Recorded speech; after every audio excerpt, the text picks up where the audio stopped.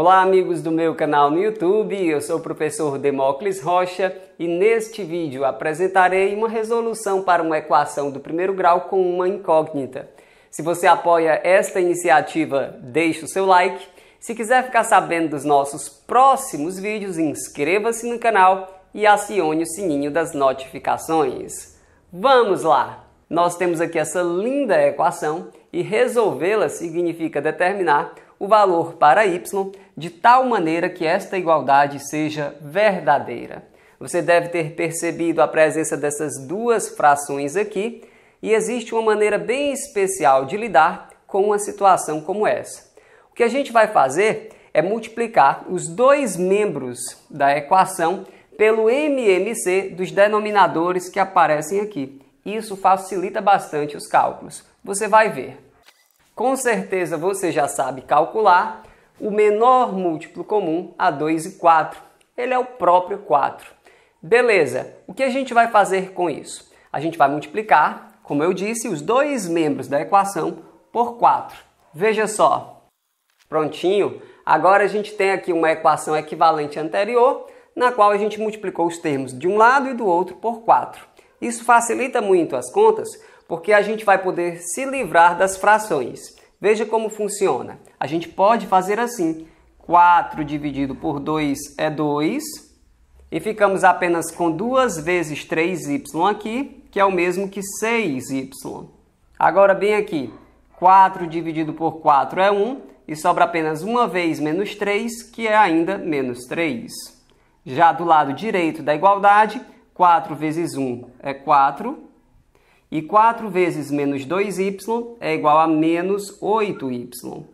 Beleza! Para que os termos em y apareçam apenas de um dos lados da igualdade, veja só o que eu vou fazer. Eu vou eliminar esse menos 3 aqui. Para tanto, eu vou adicionar 3 unidades aos dois lados da equação. Veja só com o que a gente fica. Do lado esquerdo, menos 3 com mais 3 é zero, sobra apenas 6y. E do lado direito, 4 mais 3 é 7. E ainda temos aqui menos 8y. Beleza! Para que os termos em y apareçam apenas do lado esquerdo da igualdade, eu vou eliminar esse menos 8y que aparece aqui do lado direito. Para tanto, eu vou adicionar 8y aos dois lados da equação. Veja só com o que a gente vai ficar. Vamos trazer a brincadeira bem para cá. Do lado direito da igualdade, menos 8y cancela com mais 8y, sobrando apenas 7. E do lado esquerdo da igualdade, 6y mais 8y é o mesmo que 14y. Beleza!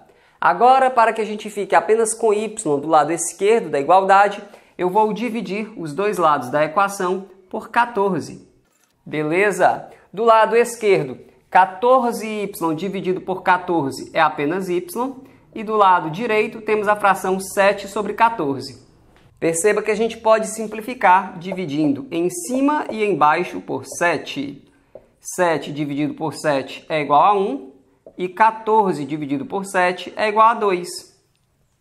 Sendo assim, y é igual a 1 meio. Isso significa que substituindo y aqui e aqui, com todo cuidado, por 1 meio, você vai ter uma igualdade verdadeira. Perceba a regra básica na resolução de equações. Tudo que a gente faz de um lado, a gente faz do outro lado da igualdade para que a gente obtenha uma equação equivalente à anterior. Aqui eu multipliquei os dois membros da equação por 4. Aqui eu adicionei 3 unidades aos dois membros da equação. Aqui eu adicionei 8y aos dois membros da equação. E aqui eu dividi por 14 os dois membros da equação, obtendo sempre equações equivalentes. Este vídeo foi feito de coração para te ajudar. Se ele te ajudou e você quiser me ajudar de volta, deixe um comentário com uma carinha sorrindo, compartilhe o vídeo. Se você é fera mesmo e quer continuar praticando, pause o vídeo, tente resolver essa linda equação. A gente já tem um vídeo aqui no nosso canal com uma resolução para ela. Então você pode resolver e conferir o resultado. A gente fica por aqui, um abraço e até a próxima. Tchau!